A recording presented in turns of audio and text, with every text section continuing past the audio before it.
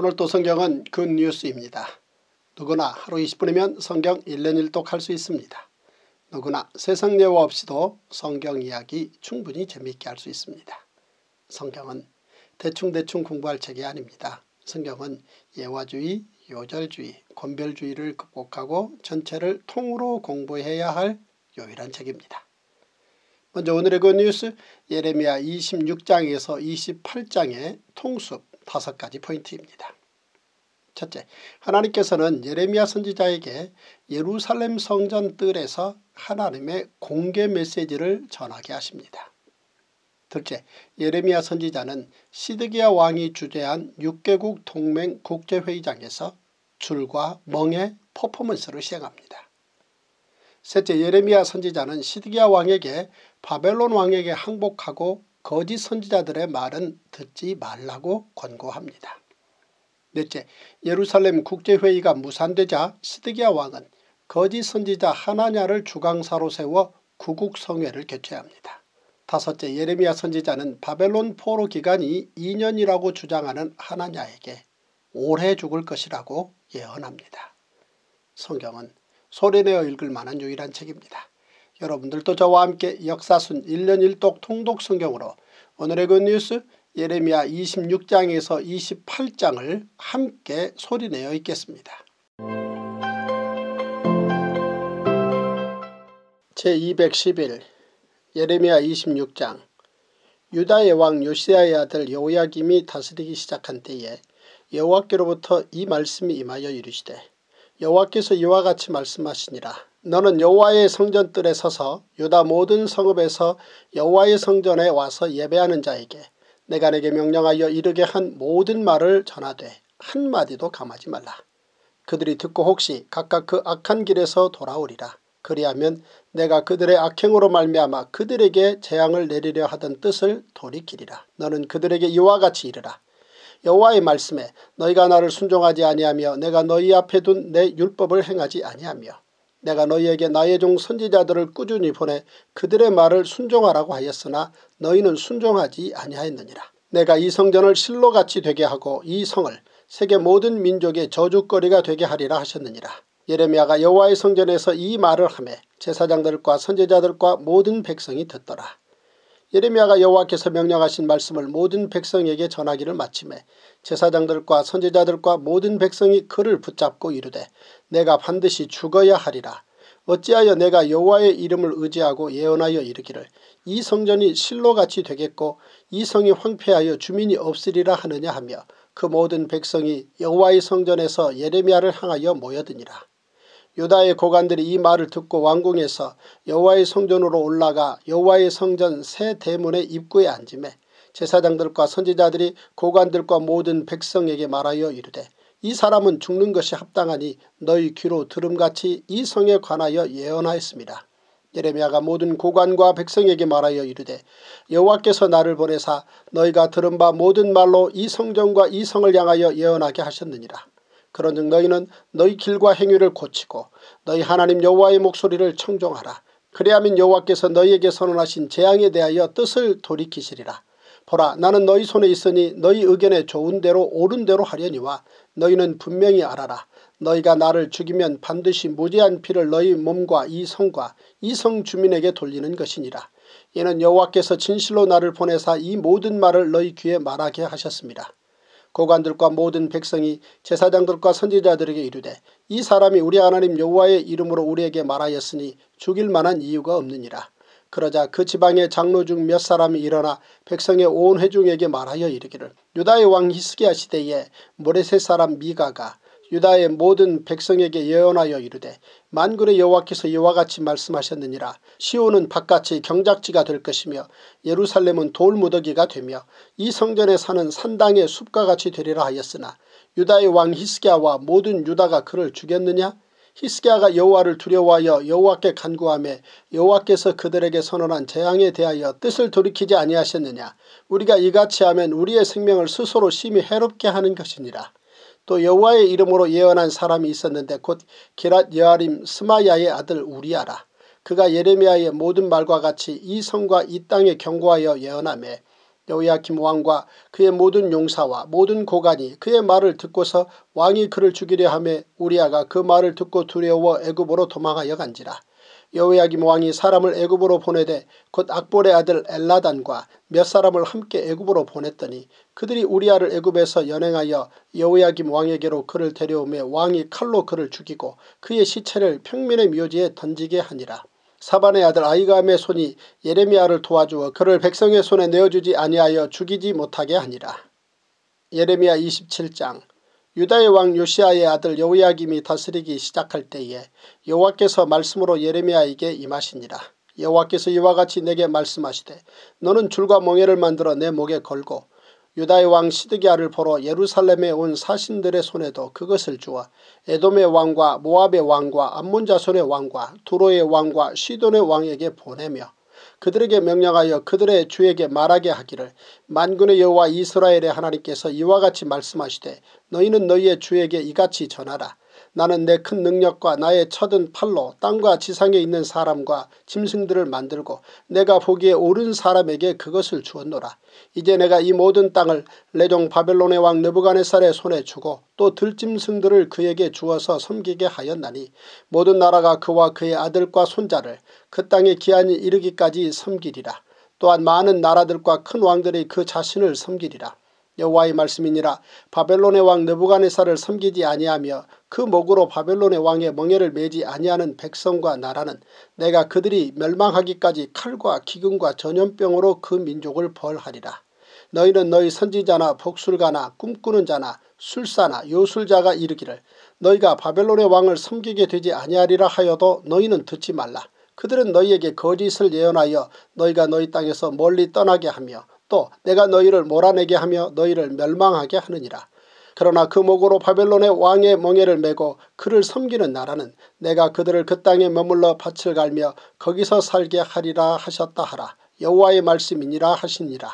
내가 이 모든 말씀대로 유다의 왕 시드기야에게 전하여 이르되 왕과 백성은 바벨론 왕의 멍에를 목에 메고 그와 그의 백성을 섬기소서 그리하면 사실이라.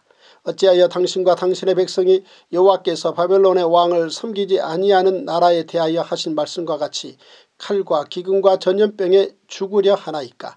그러므로 당신들은 바벨론의 왕을 섬기게 되지 아니하리라 하는 선지자의 말을 듣지 마소서. 그들은 거짓을 예언함이니이다. 이는 여호와의 말씀이니라 내가 그들을 보내지 아니하였거늘 그들이 내 이름으로 거짓을 예언하니 내가 너희를 몰아내리니 너희와 너희에게 예언하는 선지자들이 멸망하리라. 내가 또 제사장들과 그 모든 백성에게 전하여 이르되 여호와께서 이와 같이 말씀하시기를 보라 여호와의 성전의 기구를 이제 바벨론에서 속히 돌려오리라고 너희에게 예언하는 선지자들의 말을 듣지 말라. 이는 그들이 거짓을 예언함이니라 하셨나니 너희는 그들의 말을 듣지 말고 바벨론의 왕을 섬기라. 그리하면 살리라. 어찌하여 이 성을 황무지가 되게 하려느냐. 만일 그들이 선지자이고 여호와의 말씀을 가지고 있다면 그들이 여호와의 성전에와 유다의 왕의 궁전에와 예루살렘에 남아있는 기구를 바벨론으로 옮겨가지 못하도록 만군의 여호와께 구하여야 할 것이니라. 만군의 여호와께서 기둥들과 큰 대야와 받침들과 이 성에 남아있는 기구에 대하여 이같이 말씀하시나니 이것은 바벨론의 왕 느부갓네살이 유다의 왕 여호야김의 아들 여고니아와 유다와 예루살렘 모든 귀인을 예루살렘에서 바벨론으로 사로잡아 옮길 때에 가져가지 아니하였던 것이라. 만군의 여호와 이스라엘의 하나님께서 여호와의 성전과 유다의 왕의 궁전과 예루살렘에 남아있는 그 기구에 대하여 이와 같이 말씀하셨느니라. 그것들이 바벨론으로 옮겨지고 내가 이것을 돌보는 날까지 거기에 있을 것이니라. 그 후에 내가 그것을 올려와 이곳에 그것들을 되돌려 두리라. 여호와의 말씀이니라. 예레미야 28장 그해 곧 유다왕 시드기야가 다스리기 시작한 지 4년 다섯째 달 기브온 아술의 아들 선지자 하나냐가 여호와의 성전에서 제사장들과 모든 백성이 보는 앞에서 내게 말하여 이르되 만군의 여호와 이스라엘의 하나님이 이같이 일러 말씀하시기를 내가 바벨론의 왕의 멍에를 꺾었느니라. 내가 바벨론의 왕 느부갓네살이 이곳에서 빼앗아 바벨론으로 옮겨간 여호와의 성전 모든 기구를 2년 안에 다시 이곳으로 되돌려 오리라. 내가 또 유다의 왕 여호야김의 아들 여고니아와 바벨론으로 간 유다 모든 포로를 다시 이곳으로 돌아오게 하리니 이는 내가 바벨론의 왕의 멍에를 꺾을 것입니다. 여호와의 말씀이니라 하니라. 선지자 예레미야가 여호와의 성전에 서 있는 제사장들과 모든 백성들이 보는 앞에서 선지자 하나냐에게 말하니라. 선지자 예레미야가 말하니라. 아멘 여호와는 이같이 하옵소서 여호와께서 내가 예언한 말대로 이루사 여호와의 성전 기구와 모든 포로를 바벨론에서 이곳으로 되돌려 오시기를 원하노라. 그러나 너는 내가 내 귀와 모든 백성의 귀에 이르는 이 말을 잘 들으라. 나와 너 이전의 선지자들이 예로부터 많은 땅들과 큰 나라들에 대하여 전쟁과 재앙과 전염병을 예언하였느니라. 평화를 예언하는 선지자는 그 예언자의 말이 응한 후에야 그가 진실로 여호와께서 보내신 선지자로 인정받게 되리라. 선지자 하나냐가 선지자 예레미야의 목에서 멍에를 빼앗아 꺾고 모든 백성 앞에서 하나냐가 말하여 이르되 여호와께서 이와 같이 말씀하시니라.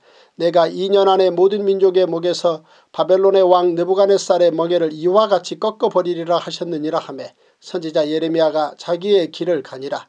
선지자 하나냐가 선지자 예레미야의 목에서 멍에를 꺾어버린 후에 여호와의 말씀이 예레미야에게 임하니라 이르시기를 너는 가서 하나냐에게 말하여 이르기를 여호와의 말씀에 내가 나무 멍에들을 꺾었으나 그 대신 쇠 멍에들을 만들었느니라. 만군의 여호와 이스라엘의 하나님께서 이와 같이 말씀하시니라. 내가 쇠 멍에로 이 모든 나라의 목에 메워 바벨론의 왕 느부갓네살을 섬기게 하였으니 그들이 그를 섬기리라. 내가 들짐승도 그에게 주었느니라 하라. 선지자 예레미야가 선지자 하나냐에게 이르되 하나냐여 들으라 여호와께서 너를 보내지 아니하셨거늘 내가 이 백성에게 거짓을 믿게 하는도다. 그러므로 여호와께서 이와 같이 말씀하시되 내가 너를 지면에서 제하리니 내가 여호와께 패역한 말을 하였습니다. 내가 금년에 죽으리라 하셨느니라 하더니 선지자 하나냐가 그의 일곱째 달에 죽었더라. 오늘 우리는 예레미야 26장에서 28장을 함께 읽었습니다.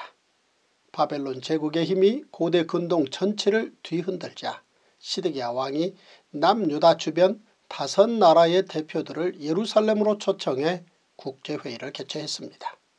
그런데 바로 그 자리에 예레미야 선지자가 줄과 나무 멍에를 들고 나타나 하나님의 측량이 이미 끝났다는 것과 나무 멍에를 매지 않으면 쇠 멍에를 메고 바벨론 포로로 끌려갈 것을 말합니다. 예레미야 선지자의 이 예언은 남유다 주변국 모두에게 불편하기 이를 데 없는 메시지였습니다. 예레미야 선지자의 줄과 멍의 퍼포먼스 때문에 국제회의가 중단되고 사신들이 모두 자국으로 돌아가 버리자 시드기야는 거짓 선지자 하나냐를 세워 구국성회를 성대하게 개최합니다. 여기에서 하나냐는 2년을 주장하며 예레미야 목에서 멍에를 빼앗아 꺾습니다. 하나냐는 예레미야 선지자의 나무 멍에를 빼앗아 꺾음으로 바벨론 왕의 멍에를 꺾을 수 있음을 보여준 것입니다. 하나냐의 말에 환호하는 남유다 백성들은 바벨론 포로 70년 징계보다는 자신들이 듣고 싶은 말 바벨론의 멍에를 2년 안에 꺾을 수 있다는 말을 듣고 싶었으며 그 말에 열광할 뿐이었습니다. 제사장 나라의 길과 멀어지는 그들을 보며 예레미야는 눈물의 선지자가 될 수밖에 없었던 것입니다. 모든 성경은 하나님의 감동으로 된 것으로 교훈과 책망과 바르게함과 의로 교육하기에 유익합니다. 성경 한 권이면 충분합니다. 그러므로 오늘도 세상 뉴스를 넘어 good news 성경으로 행복하시고 good news 성경으로 승리하시는 멋진 하루 되십시오. wow!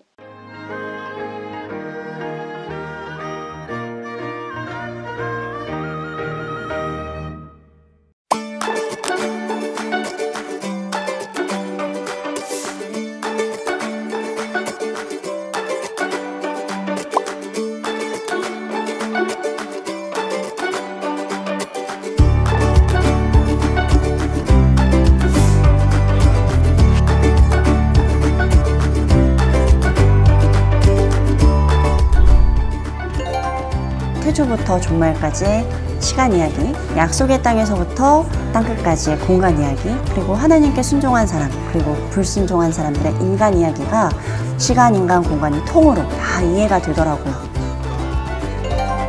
성경의 개인 이야기를 단순히 그 개인 이야기에 머물지 않고 그 가정에 속한 또 나라 이야기에 연결된다는 것을 강의를 통해서 쉽게 이렇게 이해가 되는데 많이 도움이 되었습니다. 그럼 속죄죄는 무엇입니까?